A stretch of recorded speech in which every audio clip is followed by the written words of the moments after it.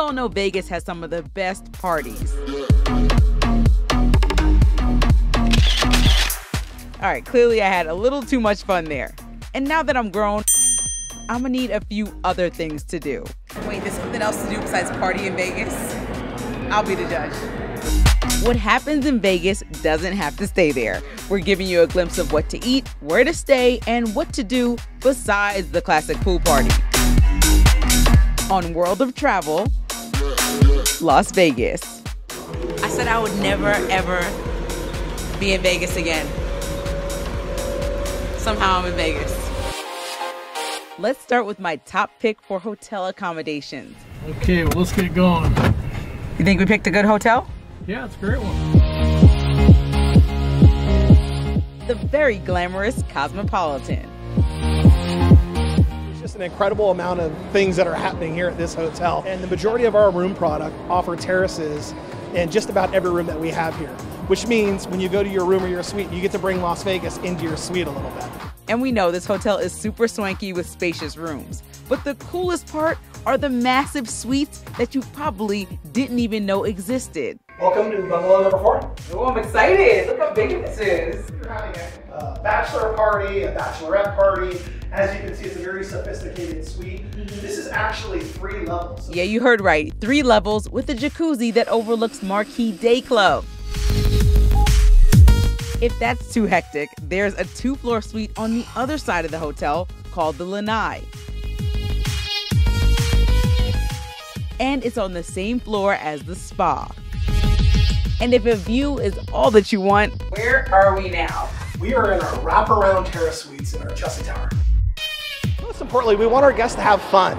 We want our guests to come here. We want them to have a good time. We want them to experience something that they haven't experienced before.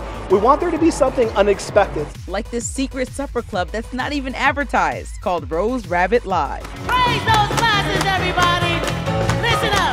The most popular drink on the property that's not on any menu. We're gonna make the verbena cocktail. It's actually the most popular cocktail at the Cosmopolitan, but what makes it so special, it's not on any menu. It's all just word of mouth. The garnish is a Szechuan flower, also known as a buzz button. Um, it's a natural alkaloid that when you eat this little flower, it speeds up your salivary glands and makes you what's called a super taster. Speaking of super tastes, I'm hungry just thinking about my favorite restaurant in Vegas, Bazaar Meat by Jose Andres.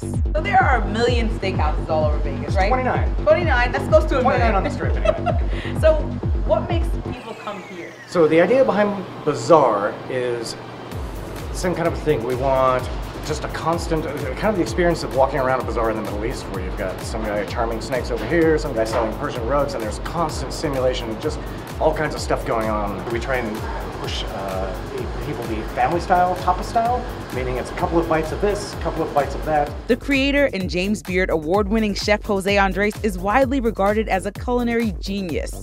At Bazaar, you still get the steakhouse feel with tons of small plates to keep your taste buds on edge. Well, we have 108 things on our menu. You Ready to enjoy this food?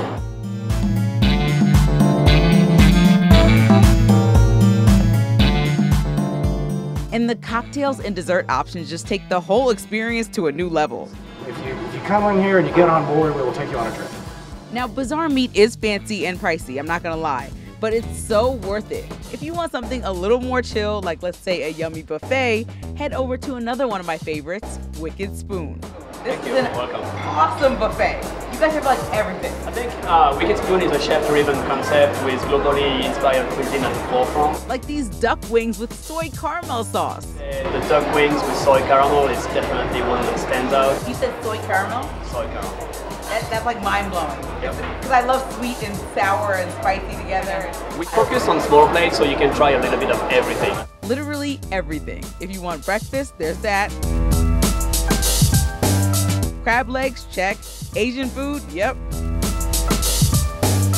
And for all the carnivores, just about any kind of meat your heart desires. I want it. You're supposed to answer on camera, so it's like I'm talking to somebody. Yes. And don't forget dessert. What are the most popular ones of the day? Today is Oreo, but uh, for the most part, it's going to be pistachio and mango passion. I'm starting with the ice cream. Cone ice cream. Dessert course is Vegas. And finally, what's Vegas without a little magic? To be specific, magic reinvented nightly at the LINQ Hotel with my buddy Mat Franco. I can't even remember not being interested in magic. You know, as far back as my memory goes, I've always been doing it, so I just kind of saw it on TV and stuck with it ever since. If Mat looks super familiar to you, here's why. The winner of the $1 million and the star of the headline show in Las Vegas is Mat Franco! Yep, he's the first magician to ever win America's Got Talent. It's like winning the Super Bowl, it's like winning the Olympics, it's, you know, the Olympics of magic or entertainment. And his skills are still mind blowing. I saw that man disappear with my own eyes. How did you disappear? Break it down. How did you get from one side of the room to the other side in two seconds? I mean, I, I just basically went like this, and you didn't see it.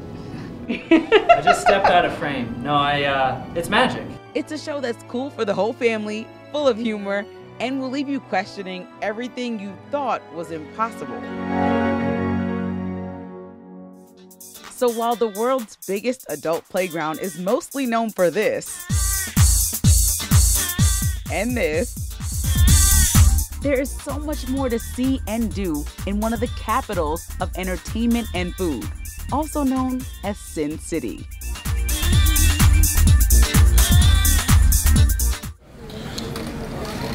I, Why she asking me girl questions? I didn't paint my nails and we're about to go to Vegas.